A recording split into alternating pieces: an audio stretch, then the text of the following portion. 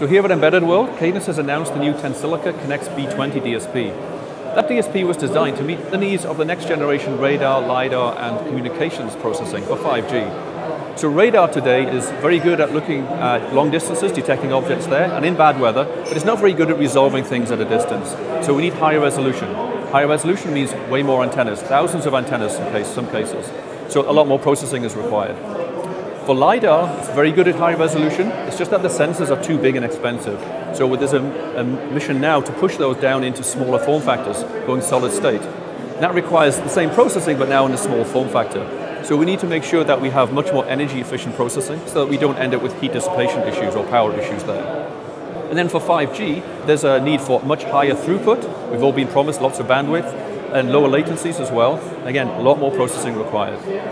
So with the B20, what we've done is we've added some more options for our customers to meet those needs. We already have 16-bit fixed point and single precision floating point.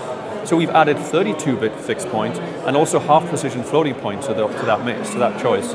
And in addition, there's an option to go twice the width on the single precision floating point if you need even more. And then finally, for communications, when you're looking at doing forward error correction in low bit rate uh, circumstances, uh, then we have a, an acceleration option for that as well for software-defined radio.